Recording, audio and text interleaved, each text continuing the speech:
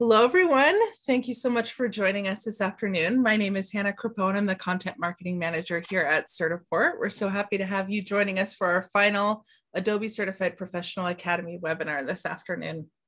Please note that the session is being recorded so everyone is currently on mute. If you have questions that you would like to ask our panelists or our presenters, please feel free to drop those into the chat or the Q&A feature, and we'll make sure to address those uh, before we wrap up our presentation today.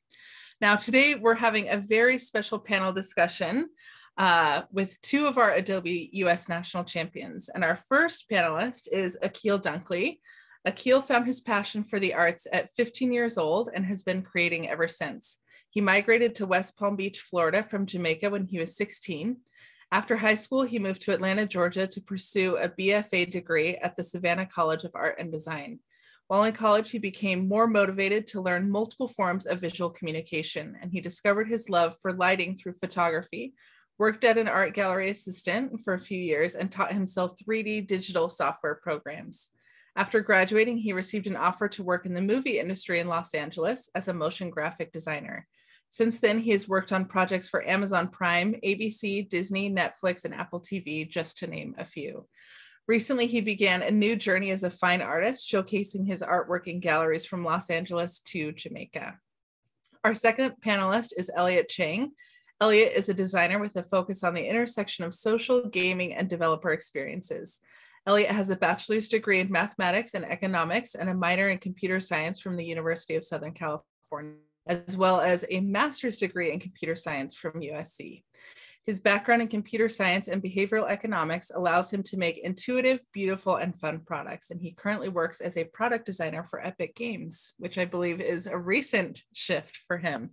We're super excited to be able to talk to both of them. But before we dive into our panel discussion, I'm going to go ahead and stop sharing and pass it over to our Certiport corporate event manager, Dominique Delbar, to tell us a little bit more about the Adobe Championship. Yes, perfect. Thank you, Hannah. Let me get my screen pulled up.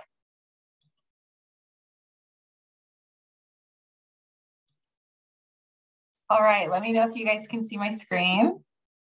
Looks great. Mm. Looks great. Perfect. Well, I will be quick so we can get talking to Acquille and Eliot.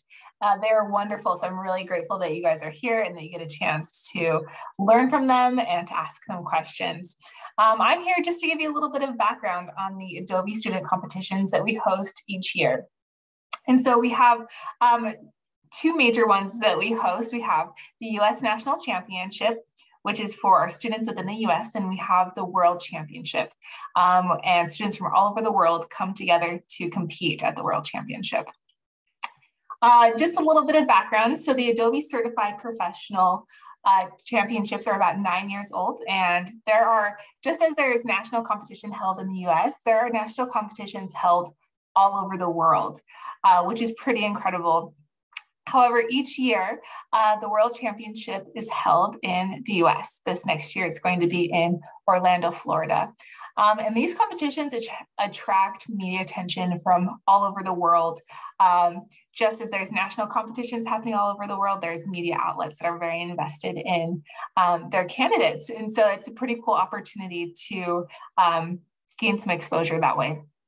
And while at the, uh, the championships, uh, students get to create designs for real nonprofit clients which is pretty cool. This past year, the nonprofit client for our Adobe students was um, the Ocean Agency, and they are a creative agency that is dedicated to helping preserve our coral reefs. You can learn more about them in the Netflix documentary called Chasing Coral. But the students created posters for an upcoming uh, climate change conference that's being held in Egypt, and they did a great job. If you'd like to see some of the projects that they made, please send me an email and I'm happy to send you over a link. Um, but this next year, it'll be similar. Uh, students will get to create a project for a nonprofit client. Um, so the big question is, so how can I then get my students involved? How can they qualify? Um, and to participate in the competitions, students need to be between the ages of 13 and 22 years old, and they need to earn a passing score on one of the Adobe Certified Professional exams. So Photoshop, Illustrator, or InDesign. So that's the first step. And then the next step is to submit an original design. Um, and the source files um, to uh, to compete in the uh, in the uh, in the competition. Um, and I can send a link out after this call so you can more easily submit those projects. But those are the two steps required. So they need to pass the certification exam, and then they also need to submit a project.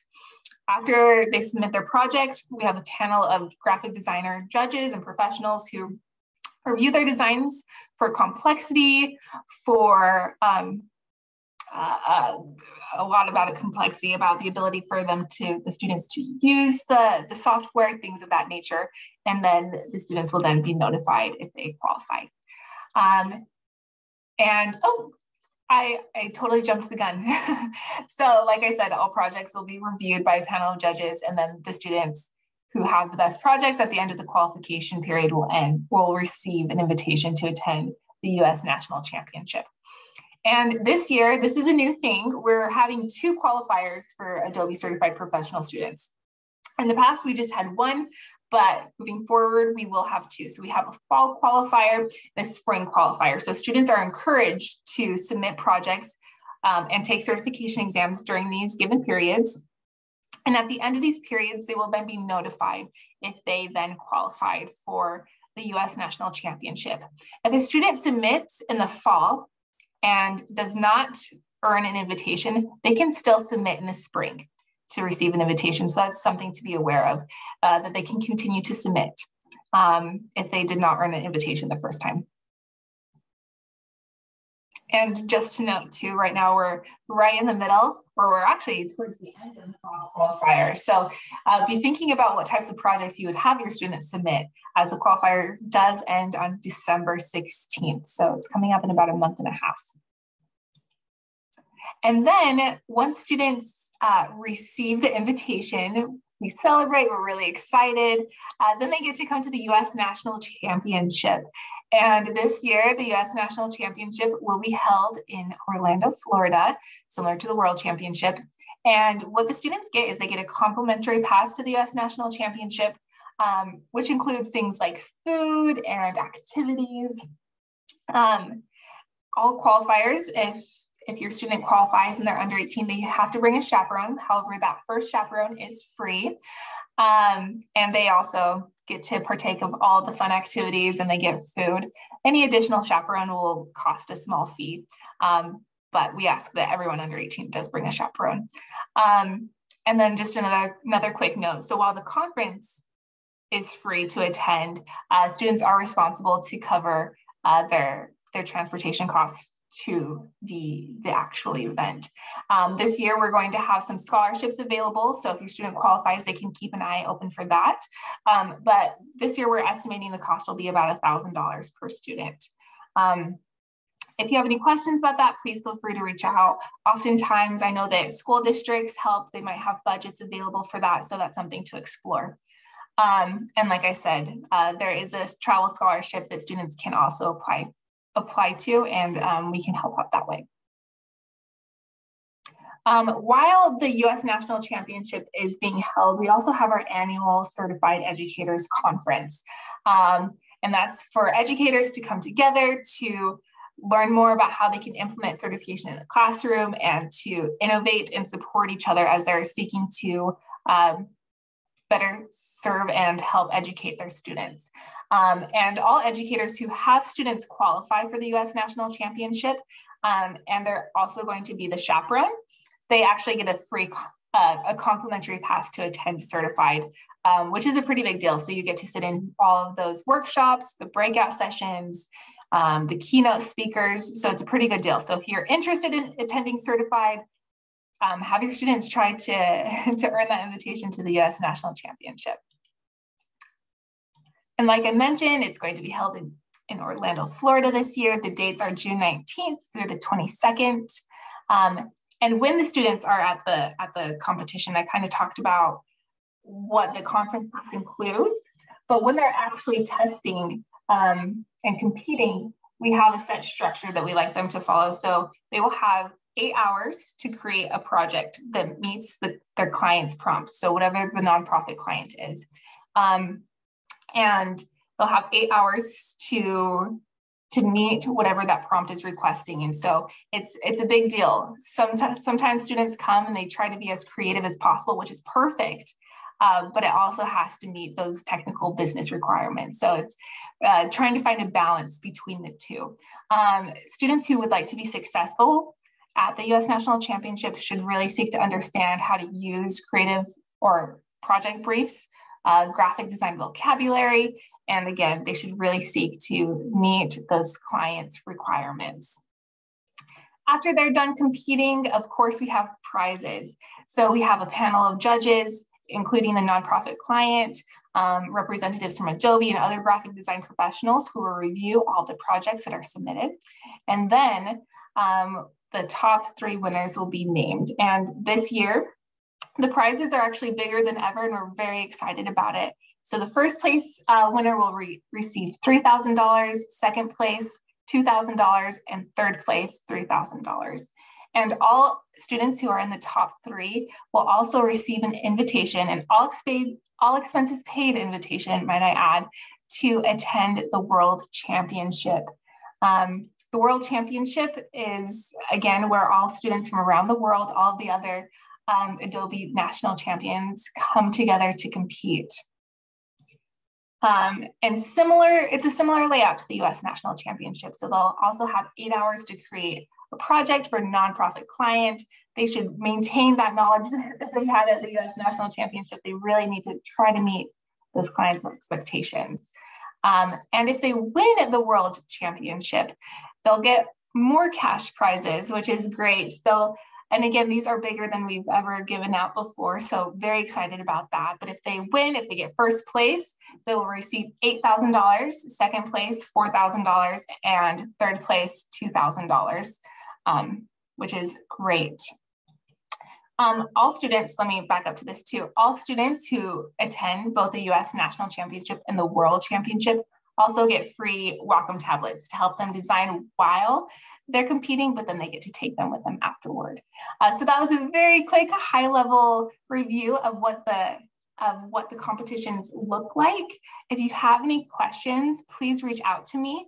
Um, and we'll also be sending a recap email after this and you can review the slides. Um, you can have my email address and I'll also send out the, the submitted project link. And I'm really excited, like I mentioned, that Eliot and Acquille are both here to talk to you about their experiences at the competitions. Um, so you can learn more about how they can help serve uh, your students. Amazing. Thanks, Dominique. well, now is the time for us to get to know Eliot and Acquille.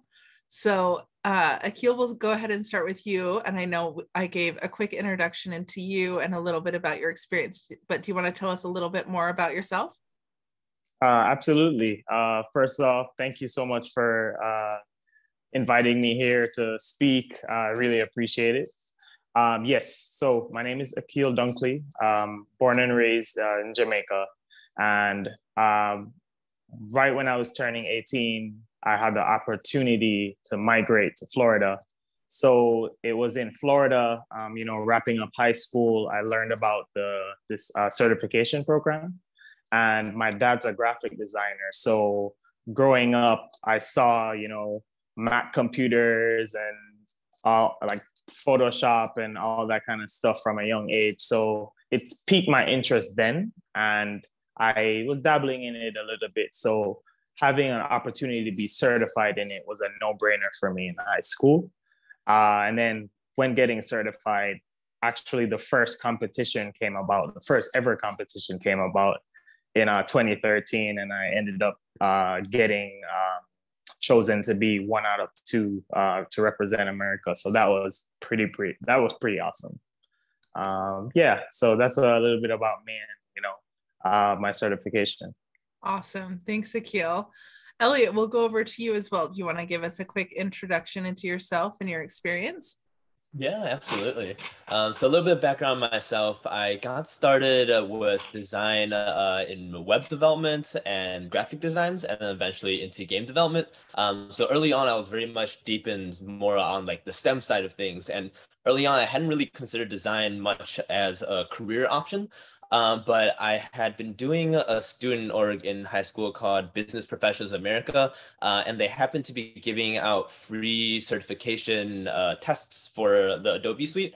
Um, and since I was relatively familiar with Photoshop at that time, I decided to take that certification. Um, and that's how I found out about the championship. And then I applied for it and actually didn't get it the first two times. Um, but then the third application, I was able to get into the program or uh, represent America for the national championship. Um, and that's where it sort of really shifted a lot of how I view design, especially in the context of careers, where before I always thought it was like just something I could dabble in, but there it was the first time that I was sort of in this environment where everyone was interested in art and design and they wanted to go deep on it long term. Um, and being in that environment was was really invigorating of just being able to see other young artists and designers made me realize like hey maybe this is something i can pursue um, and that's really shaped my career uh, up to this point i love that and i love that you both have such unique journeys and i know we're going to uh, dive a lot more into that but i wanted to go back to you eliot and talk about you entered the competition multiple times and i know one of the things that a lot of students have reservations about is putting their work out there so how did you decide that you wanted to participate in the Adobe competition? How did you kind of gear yourself up for that? Yeah, yeah, absolutely. So at the time I was applying, or I had been submitting to a like graphic design competition through Business Professionals America, uh, and decided to double dip. So I applied for the Adobe Championship as well with that submission, um, but that submission didn't go through, and it wasn't it wasn't even that great of a, a design. But that's sort of how I got uh, acquainted with the application process. Mm. Uh, and Hannah has always been really really great with like helping out with that process. So the second year when I was doing some more like side projects, I decided to submit again. Um, and then similarly for the third year, I applied again. Um, and just being able to know like, hey, like this is a safe space for you to sort of not even like showcase your work, but at least get some eyeballs on it, I think was a really, really big part of my design journey of I've always been of the opinion that to get started is sort of just put whatever's on your mind, get pen on paper and just like get eyeballs on it, get some feedback and start the iterative process to get better at your craft. I love that. It it sometimes it takes putting something out there that ne- isn't necessarily what you feel like is your best work, but being able to get people's constructive criticism and really put yourself out there. I think that's a huge part of perfecting your craft. So I love that. Acquille, um, I wanted to ask you. I know you competed in the very first year that we ever had the Adobe Championship. So tell us what that looked like for you. How did you decide that you wanted to compete? Uh, yeah. Um, I was. I remember the summer when I got a call from uh, John Medved. Uh, I even remember his name. um, was pr- pretty awesome um, getting that call, and um, it was a situation for me where I I didn't really see, or or I didn't really see a way of all right this is a path i could take mm. to hmm. make art um uh like a full-time thing you know to be sustainable off art i didn't see it and growing up in jamaica like it's more traditional sense like oh you have to do this kind of job and art is kind of just a hobby so getting that call and having the opportunity to have my dad and i go out to washington d.c in the name of art that was pretty huge and when I got there, it was even more mind blowing to see other um, kids and other artists and students um, with the same passion as I did. Mm. And um, just getting experience from uh, uh, real world professionals. Uh, again, it was amazing. I, I got so inspired that whole time I was there. And then months after, you know, the competition, um, and yeah that's that's how it kind of started for me. It was a spark that i i needed and it was almost like proof to my parents like hey see you know mm-hmm. art can can be a uh, something sustainable. Yeah. Uh, yeah. Well i wanted to ask you've kind of touched on a couple different points but what was your favorite part of coming to compete? Um definitely would be being around other artists and being in that environment and and just creating and having just that collective energy that was there and mm-hmm. learning from other professionals as well. Um, definitely, just the, just that energy that was felt being around with uh, other passionate people. Yeah, I think there's a lot. Every time I go to the competition, I've been working for Certiport for about nine years.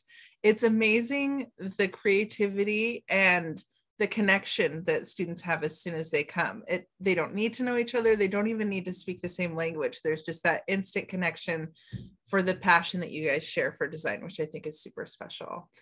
Um, Eliot, same question for you. You competed, I think, in 2016. Is that right? Or uh, applied in 16, but uh, I competed okay. for 20. okay, awesome. So tell us what your favorite part was of the competition and competing.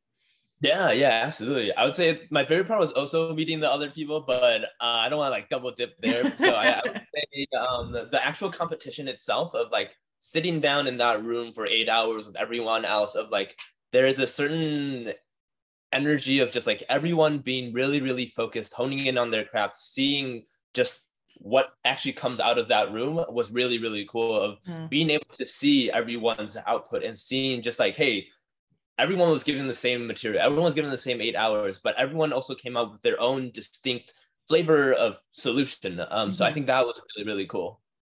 Yeah, it's amazing, especially considering the age demographic. I mean, you both competed when you were 18, you know, in the middle of high school. I just think that it's so special to see in eight hours what you guys are able to create. It's it's a really amazing environment. And I know that it it opens our eyes to be able to see the power that certification and these skills really have in the lives of these of these students. And i wanted to kind of dive back into certification and partnering that with the competition. You guys both competed when you were recently graduated or still in high school. Um, and i know that a lot has changed since then. You guys have both graduated from college. A lot of things have changed even in your career. So how would you guys say we'll start with you eliot how has certification in the competition helped you achieve the career goals and gotten you to where you are today? Yeah, yeah, absolutely. Uh, so one of my first jobs out of high school, uh, when I started uh, college, was with this startup called Focus, where they were doing like mentorship for startups. Um, and initially, I was able to go in there to just hit the ground running with helping out with both graphic design work as well as website design work, uh, primarily because of that, like the confidence that the competition and the certification process mm. had instilled of being able to go there and know that like, hey, even though I'm still relatively young, knowing that like I'm able to compete at the same level as what the other like applicants were competing at uh, really helped me with feeling like hey i should be able to come in here and just hit the ground running mm-hmm. um, so being able to have that sense of confidence was definitely a really really big booster and then from there i think one of the hardest parts with like design and art is just getting that first job but once you get that first one you can really start snowballing it. Um, so i think the certification without it i don't think i would have been able to really get that type of momentum to get the snowball going. Well, and you you have a unique career path because I think a lot of people associate design skills with uh, graphic design or similar to Acquille's career as an, an artist and motion graphics artist. So how did you decide that you wanted to pursue the computer science and the product design side of things?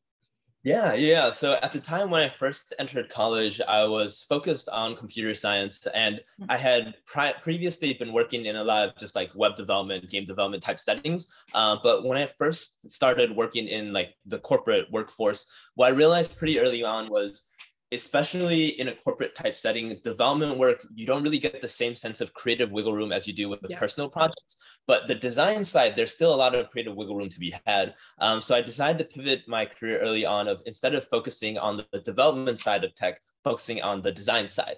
Uh, and within that, there's UI, UX, there's research, there's a lot to be done within product design as a whole, where it's you're using both the like the mindset of a designer, but also the mindset of a technologist and using that combination to create designs. I think that's really special that you were able to have the intersection of both of those skill sets. There's not a lot of people who can bring that to the table. So, what an amazing balance of the left and right brain, right? To bring that into your career. I think that's awesome. Well, Acquille, I want to go over to you as well. Tell us how certification and the competition has brought you to where you are today. Uh, yeah, Eliot, you you mentioned it um, as well. That boost of confidence, definitely. You know, um, competing um, seeing, uh, you know, that being a realization like, okay, I'm here for a reason and, you know, I must be doing something good, something right. And um, that burst of energy you get afterwards to say, all right, I competed at this level, so I could find other goals, obstacles, and, and knock them out uh, to achieve those goals. And uh, another one is that certification, you know, on a, on the resume. That that's powerful because I use it as leverage in if if if I'm in like a, a job interview. Um, and not necessarily bringing it bringing it up in the interview but it's something that it's a powerful addition to a resume mm. because they'll see that you took the time to get certified in a skill set that they'll need and it also boosts you up at, in terms of okay this is a skillful person that i could put my trust in uh, as an employer them looking at you mm-hmm. um, uh, as a potential uh, hire it's it's something that they could say okay this person you know took that extra step and um and the leverage that i have in those meetings say okay uh, you know i'm certified in this skill set that you need. So um maybe we can no- negotiate for a higher pay or something like that. So I, i've definitely um i definitely don't hesitate. Anytime i'm up anytime I've updated my resume throughout the years, it's always on it. It's it's it's probably not probably it is the first thing on my resume in order of the um, timeline. So that's the first thing they see in terms yeah. of like awards, and it's it's a pretty powerful thing to be to to be there. Absolutely. Yeah, to have Adobe's stamp of approval on your resume, that absolutely that speaks a lot. Yeah.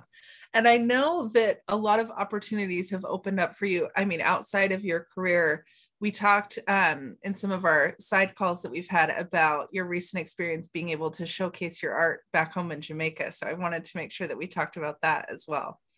Yeah, yeah. Um, yeah, that's an opportunity that was over eight years in the making. Mm-hmm. Um, I dabbled in a lot throughout my career. And, you know, I went from graphic design to photography, then to learning digital art through programs uh, like 3D softwares and um, now motion graphics. And um, I wanted to find a way to incorporate my culture in it. You know, I, I migrated in 2010 and I haven't been back in a while back then. And uh, I just was very, I was homesick in a way and just missing culture and mm-hmm. um, it, it's Jamaica's 60th year of independence this year. So last year I started planning. All right, I want to do an art show, and um, taking a step back a little bit, um, I in the bio that you read, um, me spending that time in an art gallery setting as an art gallery manager, um, I saw I saw another world of art. You know, showcasing in um, galleries and all that and I wanted to fuse, you know, fine art with Jamaican culture and all the skill sets that I, I gathered over these years allowed me to put on a solo show. And mm-hmm. I went back to Jamaica this summer and the show was phenomenal. Um, it was packed all night. It was a two week show and uh, it was just something that I was really happy to put on for Jamaica because all the work were Jamaica themed. Um, so people really came in and enjoyed seeing um, uh, um, Jamaican uh, themed work, you know, that just ex- exudes uh, culture. Yeah. And uh, that was very, very important for me yeah what a special opportunity. I mean outside of your typical corporate job to be able to share your skills and use that to breathe life into a culture that you feel so passionate about. So i think that's really special.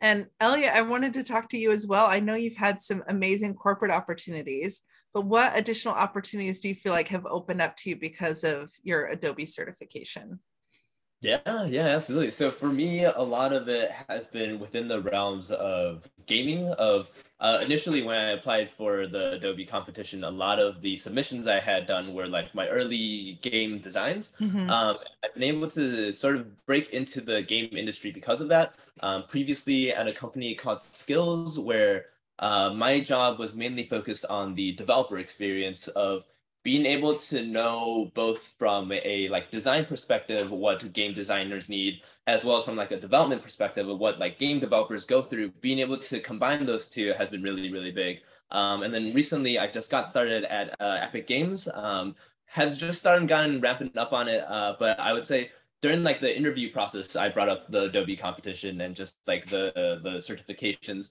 Um, so up to this point, uh, even the, a lot of those certification uh, like processes have helped out with with job interviews. I love that you guys are six, you know, five to ten years past the competition, but we're still it's still something that comes up in interviews, and I think that speaks a lot to the value that you guys have placed on this experience and, and how it's impacted you. And I know that it can do the same for a lot of other students. And it's something to the point that we discussed earlier that a lot of students might not feel comfortable sharing their work or putting their work out there because they feel like they're not ready, they're not necessarily prepared, or they're not confident in, in the work that they've done. So I wanted to give you both an opportunity to share what advice you have for other students who are looking to compete in the Adobe Championship. So Eliot, we'll go ahead and start with you. Yeah, yeah. For me, I would say the biggest thing is just getting pen on paper, just really getting your thoughts out there. Of I think for me early on, a lot of my work wasn't really all that great looking back on it, um, but it was going through that process of. I think early on, what brings value from like competitions is that it gives you a goal in mind, whereas mm-hmm. like when you're working on projects on your own, there isn't really like an end goal or like some sort of milestone to like define like success. Um, so having that competition as sort of that thing for you to strive for, I think is really, really important. Where even if you don't get in that first time or that second time, I feel like being able to get more uh, at bats for your designs, I think is really, really important, especially early on. So, how did you polish and kind of hone your craft over the years as you were applying for the competition? Yeah, I, I would I get a lot of sort of feedback from just both friends and family, mm. mentors, just seeing like, hey, this is what my submission was last year. It didn't really work out. What are things I can improve on? Of I think design and art is is is definitely an iterative process, especially for like the digital age, as you can refine and revisit a lot of your previous works of some of the games that I was designing for back in like 2016. Every couple of years, I look back and say like, hey, at the core of it, the, the game mechanics of that actually did work out, but maybe the visuals didn't. Maybe I can iterate on this. Maybe I can like update it and sort of move and grow as a designer from there. Well, and how how awesome to be able to expand your portfolio, right? I think a, a, huge part of art is that collaborative effort of saying, what do you feel like works? What do you feel like doesn't work? And so being able to uh, bridge that gap into your point in the digital age, it's easy to be able to iterate and make it different every time. So I think that that's that's super powerful. I love that. Acquille, what about you? What advice would you share with um, the students and educators who are listening? Yeah, um, I'd say, um, you know, don't be afraid to try and fail and try and fail, and that's that that's that's how we learn. You know, that's how we we learn on what doesn't work or what works.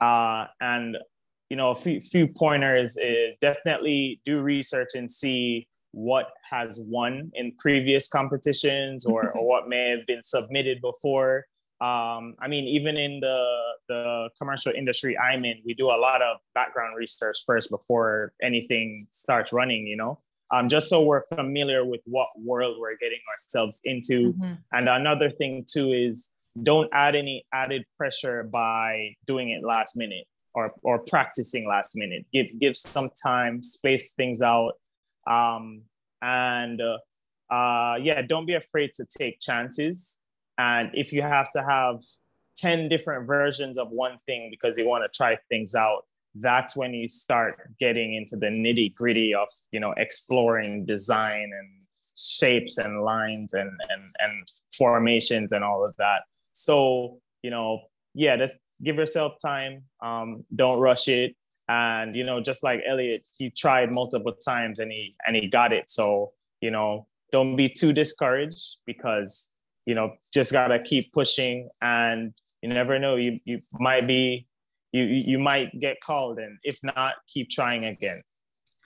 I love that. I think you guys both are examples of the power of persistence and the power of dedication to your craft.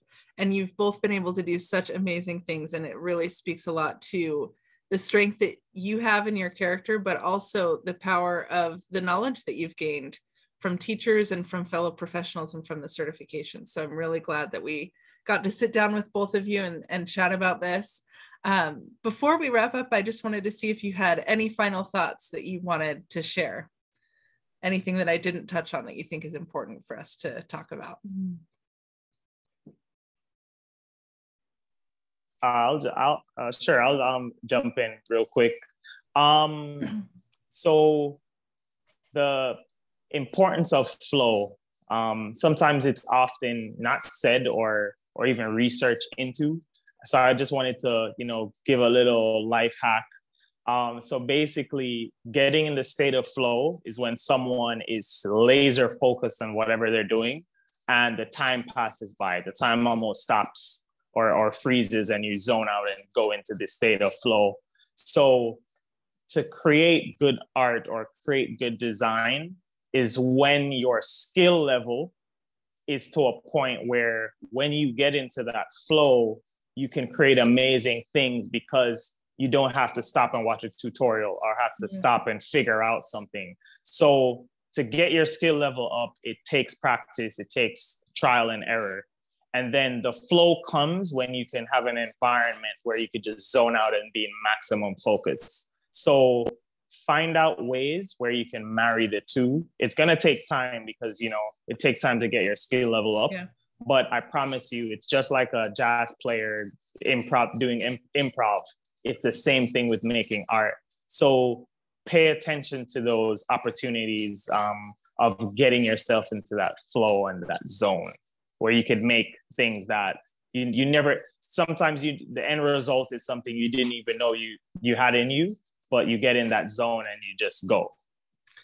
Am i the only one? I hope i'm not the only one who's thinking of the movie soul. Are you are you referencing soul from disney? That i just feel like is the perfect That's a great example movie. of that. Yeah. Yeah. Just the ability to have your skills almost exist outside of yourself that you're able to create something that you just never thought possible. And to your point, I think you have to build up enough skill set, enough practice so that your skills can kind of go on their own. You don't need to stop. You don't need to watch a tutorial. You right, don't need to right. have the technology kind of hinder your progress. It's just a tool for you to be able to use that creativity. So I think that's that's amazing. Eliot, any final thoughts from you? Yeah, yeah, I would say on that, I think what has helped me a lot with getting into that flow state has been trying to sort of focus in on what my interests are. Of I think art isn't a siloed thing. It's it's a multidisciplinary thing. And for me, I found that through gaming and computer science and that intersection with design. And I think what's nice is this feeling of almost emergent properties when you collect all of your different disciplines and you try to combine it and try to find things that don't exist in the individual silos of those disciplines, but in combination almost transcends any one of those disciplines. Um, so I think for me, I would say try to find out what those disciplines are for you. Try to see what resonates most for you and try to incorporate that into your art. Because I found that that is sort of the best way to approach getting into that flow state. And I think that not everyone realizes how pervasive design is and how pervasive art is and it's a part of our everyday life so being able to take that inspiration in combination with Acquille's comment about the skills, right? Being able to use that inspiration and those skills together to create something super magnificent. And we know that you've both done that, and we've both been privileged to be able to be witnesses to that process and your amazing progress. And we're grateful that we got to spend some time with you this afternoon. So thank you, Eliot. Thank you, Acquille, for sharing your expertise and your knowledge and your experience with us. We're so grateful that you got to uh, share some of your advice with our fellow educators and our fellow students.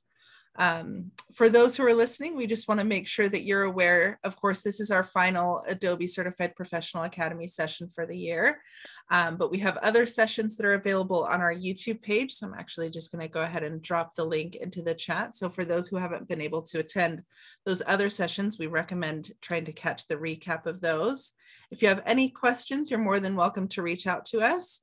Um, we actually encourage that. So we'll be sending out the link to the recording Please feel free to respond back if you have any questions about the competition to Dominique's comment earlier.